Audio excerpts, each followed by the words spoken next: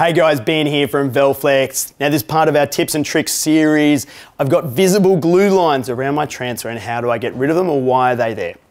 Cool, guys, so our screen printed transfers, particularly UltraColour, Ultra Color Light, has a glue spread. We, we make sure that the transfer's got the best chance of actually adhering to your garment for that washability. So we make our glue layer slightly bigger. Now, for the best part, you're not meant to see the glue spread. It's meant to push into the garment, okay? But I'm gonna take you through times when you may be able to see the glue lines and why and how to minimize those as much as possible.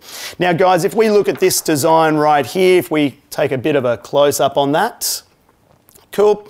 Now on this particular design here, we've got black in the design. We've also got some really thin lines, okay? So when we get down to really thin lines, proportionally it looks like there's a lot more glue around them because there's so much less physical transfer that you're gonna see, and then you've got the glue around the outside, okay? That is often when things, when you'll see the glue spread or small detail is when you'll see it similar to this lion's head that we have right here. See those thin little lines? Again, you're more likely to see a glue spread around the transfer on something like those really thin little lines, okay? Cool, that is totally normal. The glue is meant to be there, okay? But I'm gonna show you how to try to minimize those, okay? Cool. Here, where you got black ink, if we were pressing this transfer onto a black or a dark colored garment, that's also where you may see that glue spread because if you've got a really dark fabric and you've got a really dark part of the design, you know, or it's black and black, okay, that glue spread can look a little bit milky and so it'll look a little bit lighter and your eye is attracted to that.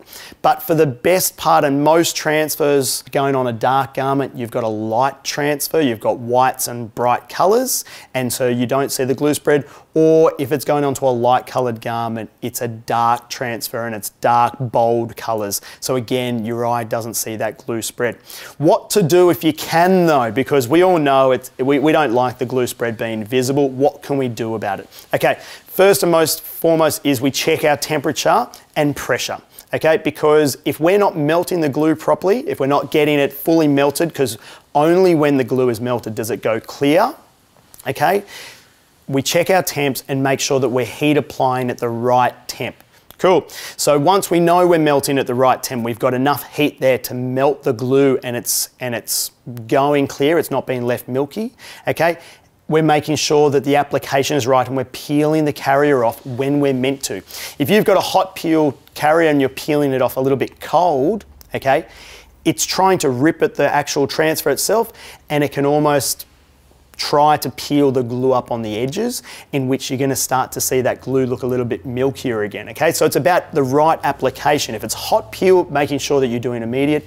If it's cold peel making sure that you let the transfer cool before you peel the application off again the right application makes sure that the glue beds down into the fabric Okay, that's with your first press. If you can still see glue spread around the transfer after you've peeled the carrier off, then giving it a second press will make sure that that one, you've activated all of the glue powder and it's melted right into the garment, so that's what it's gonna do for you.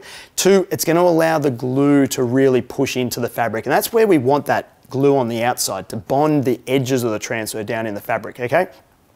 So we're gonna give it a second press. Now, Two things that often people use when giving a second press, a bit of Teflon over the top, okay, because they don't, they've peeled the transfer carrier, we don't want the transfer necessarily to go straight to the top plate, okay? So they're using a bit of Teflon over the top, right?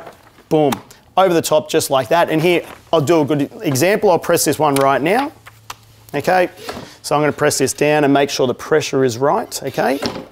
Cool, there we go. So this is a 10 second press. Here we go. Now I'm just gonna peel this. This is a hot peel transfer, okay? So it's immediate, it's nice and hot. Cool. Now if I'm gonna give it a second press, cool. And if we have a look here, right, I could put a bit of Teflon over the top of it, like this, and give it another press down. And this press might be for four seconds, three, four seconds, okay? It's all we really need. And we pop it up, cool. And that's enough to really push that glue right down into the fabric. Now, what you need to know about Teflon though, Teflon is gonna give your transfer a glossier finish, okay? Teflon always shines up transfers a little bit, so it makes those colors pop, but it also makes the transfer look a little bit glossy. The alternative to Teflon is using something like just a thin bit of cotton. Now this for me, this is just like a bit of t-shirt, cut out from the back of a t-shirt, throw it over your shoulder if you ever need to do a second press, put this over the top. Done, just like this, give that a press four, or five seconds for a second press with cotton, okay?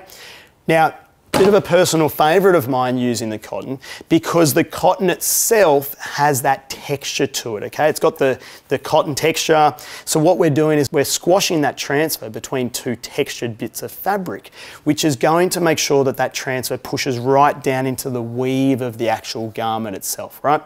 So what we get is not a shiny gloss transfer. In fact, since pressing it with the Teflon, it went shiny. I've put the cotton over the top and it's now got a much matter look a matter, more natural look, okay? And what I can tell you is the glue spread that was around has definitely pressed right down into that fabric, no longer to be seen.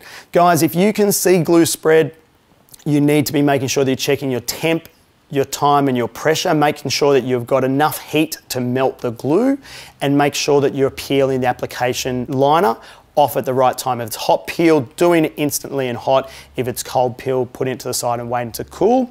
If you still have a glue spread, then a second press can really help activate that glue, push it into the fabric. Putting something over the top is always a good idea. Teflon will make it shine up a little bit. The cotton, my favorite, will texturize the transfer and give it a real matte finish. Guys, if you've got any other questions around glue spreads or any other challenging application, reach out to us, all the more merry to help.